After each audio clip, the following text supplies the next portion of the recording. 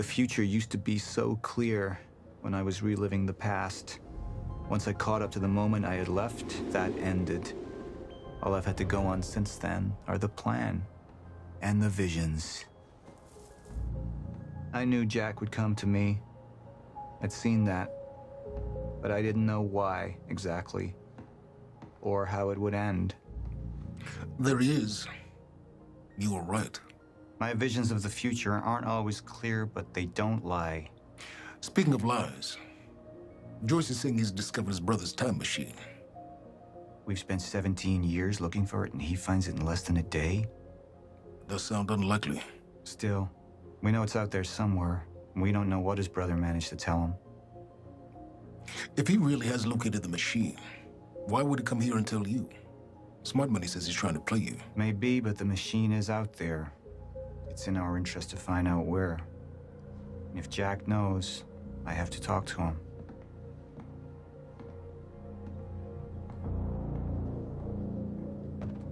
Dr. Joyce could have provided the answer to that question.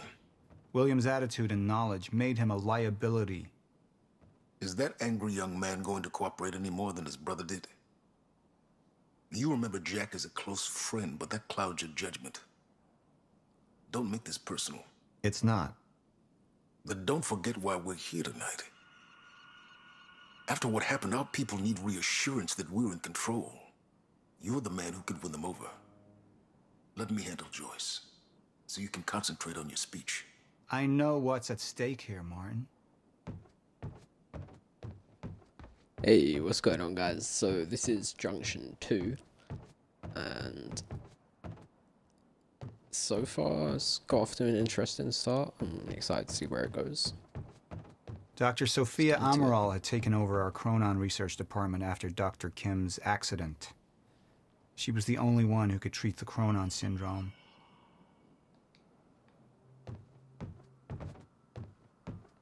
The mansion was an extravagance, but it was useful for events like the gala, and it deflected attention from our nearby R&D facility.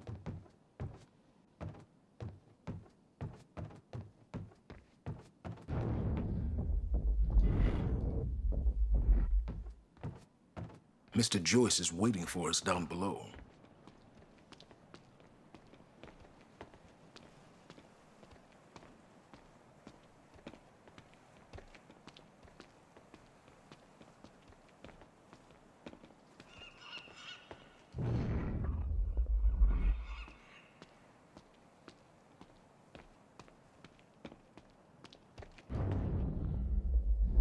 Lambo, yeah. What are these doing here? We should be set up by now. It's all on schedule. You're micromanaging again. Don't even twitch. We should go. And here you are. I had to see the lifestyles of the sick and traitorous up close and personal. And it was such a nice invitation. How do you want to deal with this, Paul? Paul, Just thinking about a road trip I took a long time ago. In a car far less comfortable than this. let's focus on the issue at hand. Oh, Paul, what should we do about Joyce?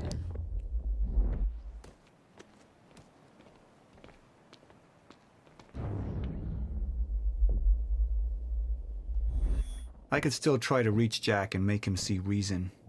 Or I could let Hatch deal with him so nothing would distract me from leading Monarch.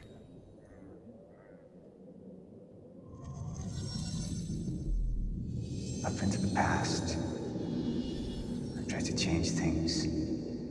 Answer me this question, Bo. I once trusted Jack more than anybody. It was my only chance to make him understand the truth. The fuck do you mean nobody got a look at the shooter? But without me there to give the speech, my empire would start to crumble like a house of cards. I believe that with hope comes miscalculation. And as you and I are well aware, Mr. Joyce, with miscalculation can often come catastrophe. And that leaves me with you, Mr. Joyce. But my old friend would be a lost cause. Dead and buried along with the rest of my past.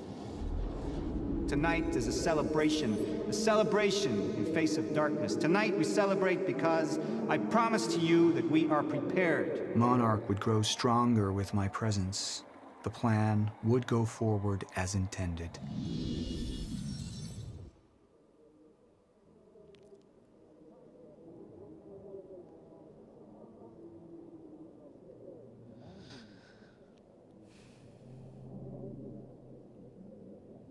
Hmm.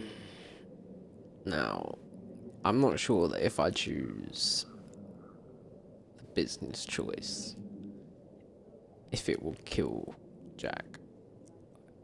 Like, I'm not sure how this game works like that, so I don't want to make a bad choice here. I don't want to kill off my character and have to play as this douchebag for the rest of the game. Although I don't feel like they would kill off the main character. Or maybe I'd have to play as one of the women. And if the personal choice, I mean, it's good for the main character. I don't know. Oh, it's gonna take me a second.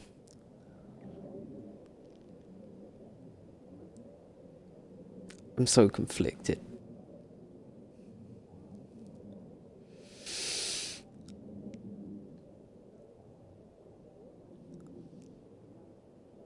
I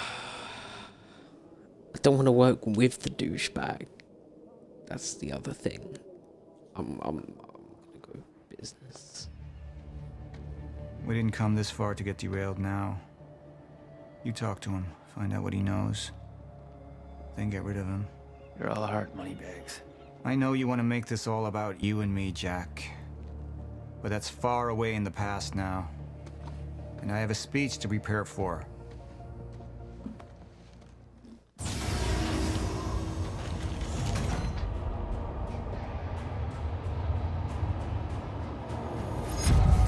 I've seen where this leads.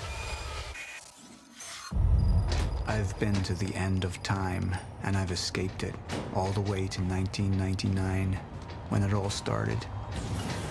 I've tried to change things, but by trying, I only made them happen in the first place.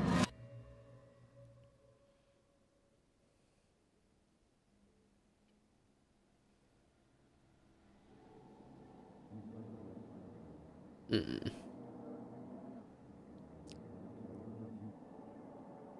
see, now that's making me feel like I did make a bad choice, but the choice hath been made. So I'm gonna have to move on. So I'm gonna end this one here, and uh, I'll catch you guys in Act 3. If there is an Act 3.